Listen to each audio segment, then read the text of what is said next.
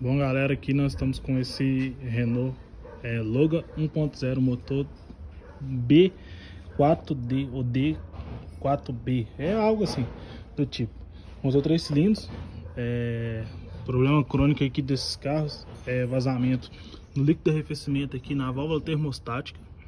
Ele vaza ali a, a, aquela borracha né, de vedação da, da carcaça da volta termostática ela apodrece e costuma ter muito vazamento d'água por ela, tá? Mas o outro problema que a gente está resolvendo aqui é relacionado ao outro problema crônico que acontece, que é as velas de ignição aqui, ó, elas encherem de óleo, né? Você vai trocar a vela lá, você coloca a ferramenta, a bobina até apodrece, né, essas coisas. Por quê? Por causa que a vedação de fábrica, ela não é tão boa, não é tão eficiente. Aqui a gente já fez a limpeza, né? Já raspamos tudo aqui, deixamos tudo bem limpo. Pra gente poder estar tá aplicando um silicone novo. Então aqui é a tampa. A tampa já tá limpa. Já tá no jeito já também.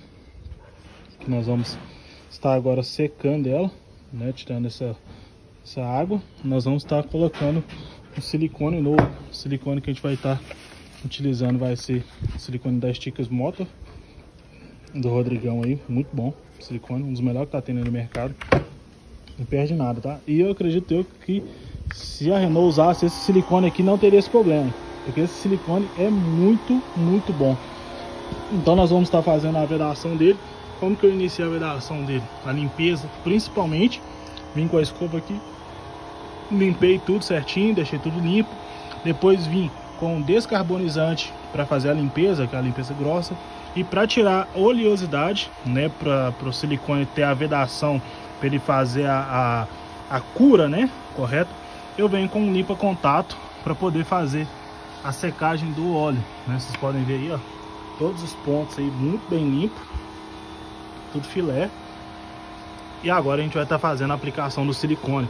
Como que eu inicio? Como eu já sei que esse carro aqui, ele tem um problema disso, eu vou ter que utilizar um silicone bom, né? Porque não vai ter nenhum problema. Qual que é o tempo bom para se deixar secando esse silicone? eu recomendo em torno de 5, 6 horas, né? E um tempo médio aí. Mas como já tá, o horário já tá avançado, eu vou estar tá aplicando esse silicone e vou estar tá funcionando nesse carro só amanhã, né? Com isso o silicone ele vai ter um tempo maior aí de duração de secagem.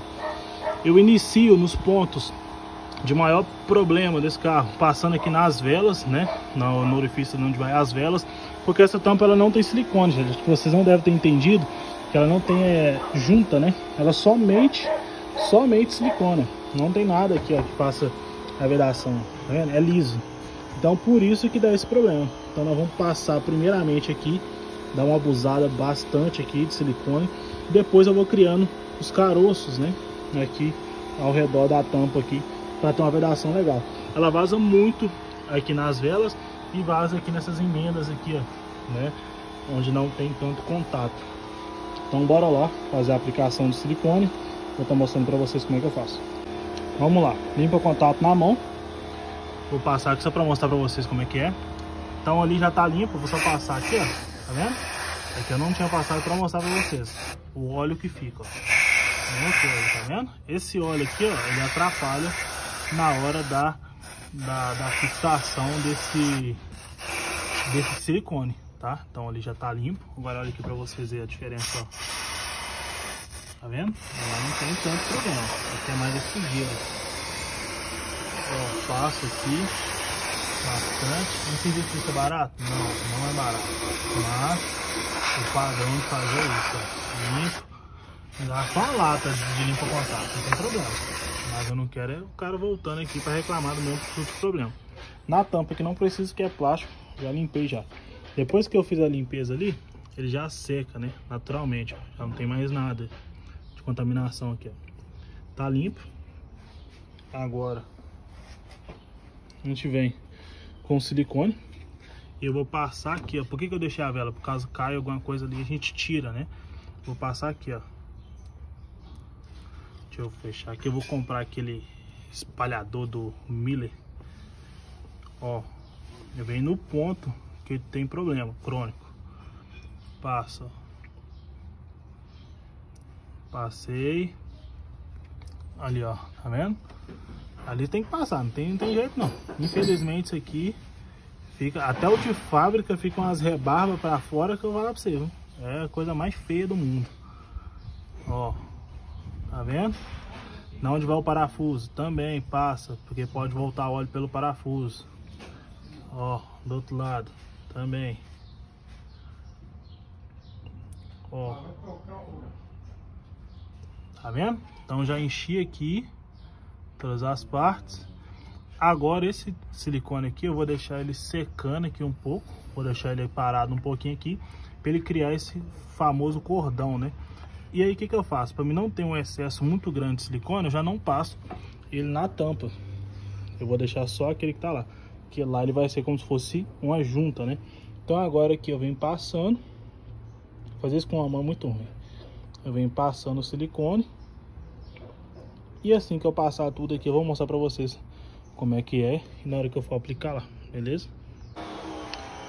Aí galera, ó. Já aplicado o silicone. Passei aqui também para poder ficar um pouco melhor. A luz aqui tá atrapalhando, legal. E ali, como eu tinha falado já, né? Que eu passei. Lá dentro, lá é óleo, tá? Esse aqui eu já tinha enxugado esse óleo. Agora da tampa de válvulas já tá no jeito. Já passei bem. Passa. Isso aqui tem que abusar mesmo. Isso aqui nem é, não. Por isso tem que usar um silicone bom. Isso aqui é tudo que tive que desmontar do carro. De missão. É um trampo do caramba isso aqui pra fazer. É, agora bora jogar a tampa no lugar aí.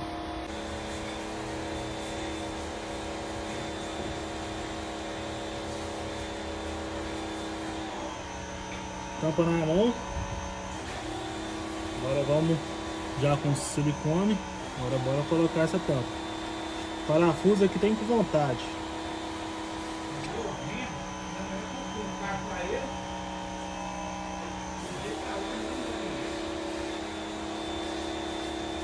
o ideal dessa junta aqui é você colocar essa, essa tampa, espreme ela bem e balança ela aqui, ó, ela poder espalhar legal. Depois que você fizer isso, essa cola é tão boa, você coloca ela aqui, ó, então você já tirar ela, já dá muita pressão. Aí eu gosto de fazer isso por quê? Porque aí eu venho aqui, ó, olha lá, aí eu consigo ver os pontos que ela não pegou direita. Aqui já é um ponto de possível vazamento vendo? Então é onde que eu tenho que caprichar, caprichar melhor na vedação.